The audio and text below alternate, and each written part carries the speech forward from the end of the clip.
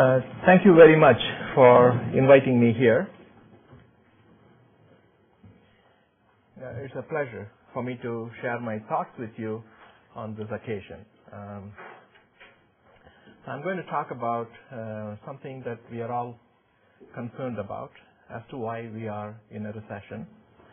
And my view on this is um, the financial crisis is just the symptom and not the disease. Um, I have to, add, before I start, I have to point out first a couple of things. Um, you know, a lot of people say that, you know, this whole recession, the financial crisis and the recession all came as a big surprise. All the economists missed it. In fact, if you look at The Economist, uh, one of the latest editions of The Economist, they talk about whether there is any need for a paradigm shift uh, we need to do economy, you know, the way we teach economics has to change or the way we do economic research has to change. In fact, that's an interesting observation. I was in, I think in 2001, in the Asia Pacific Conference in Bangkok, and Franklin gave a very interesting speech at the time. He predicted that, uh, you know, if you don't do something, we may well end up, US may well end up to be like what Japan was experiencing because of the crash of the real estate bubble. So he actually predicted that we may well be in a very deep recession uh, sometime in a few years. And there's another person who actually predicted the uh, financial crisis. Uh, that's Raghu Rajan in the uh, 2005 Jackson Hole conference, uh, which was in, you know, it's a send-off party for Greenspan. So the interesting thing on the two is that both of them have very deep connection to ISB and also to India. Franklin is right here, and Raghu, um, you know him. He's also a person of Indian origin, closely connected with uh, ISB. So in some sense, what I'm going to say should not come as a surprise to Franklin or others, uh, but maybe a surprise to a few other people.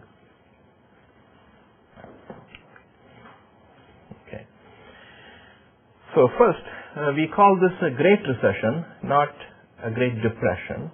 Um, if you look at corporate equities, it was about close to $20 trillion in 1999, which is about two point, uh, about twice of GDP of the U.S.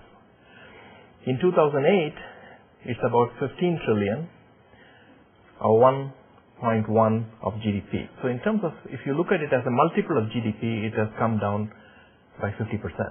It's a big drop in a matter of 10 years.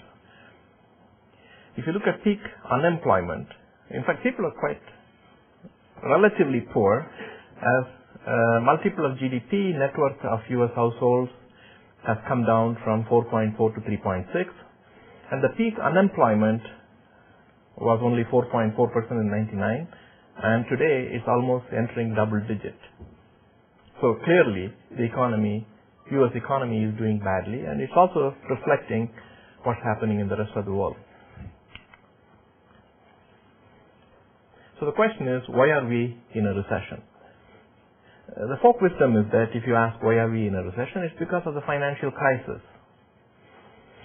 So what caused the financial crisis?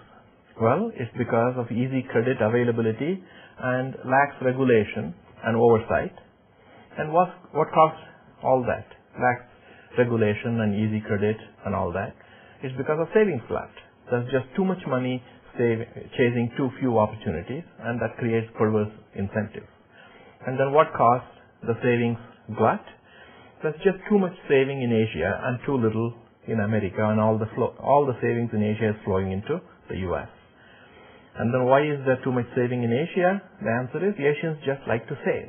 Um, and so how do you get out of the recession? Tell Asians to save a little bit less and spend more, and Americans to save a little more. The question is, is that all that is needed? So what is wrong with this logic? It is misleading to think that the causality flows from E to D to C to B and A, that is from too much saving in Asia to you know too much uh, money in US and financial crisis and the global recession. All these phenomena are closely interrelated and I think there is a deeper driving force. And what is this deep, deeper driving force? some big change has taken place in the world, and somehow we are not yet fully able to adjust to this big change or big shock. And I'm going to argue that these two big changes are the geopolitical in nature and also technological in nature. Two major events that took place in the last few decades is one is the opening of China. That happened in 1978 with the recognition of China and it took them a decade or so to get set up and then to start taking off in a big way. And the opening of India, which took place much later, and the technological innovations in essentially in the communications and the transportation sector in the 90s. So if you look at it, and also all the unions are gone. So there's a huge amount of globalization. It's a, truly a global economy now. In fact, uh, snowblower manufacturer in Wisconsin can actually shut down the plant and move it all, all the manufacturing operation to China and nobody will know any difference. In fact, just-in-time operation can still be there and the customers will not notice any difference at all. And workers in India can compete with workers in US without actually physically moving. In fact, if you think about a radiologist sitting in Hyderabad, they can look at the x-rays of a patient in Boston and advise as to what is wrong in the x-ray. So the basic point is that the workers in the developing world now can participate in the developed world's labor market without physically moving. And therefore there's been a huge increase in the world's labor supply in a very, very short period of time.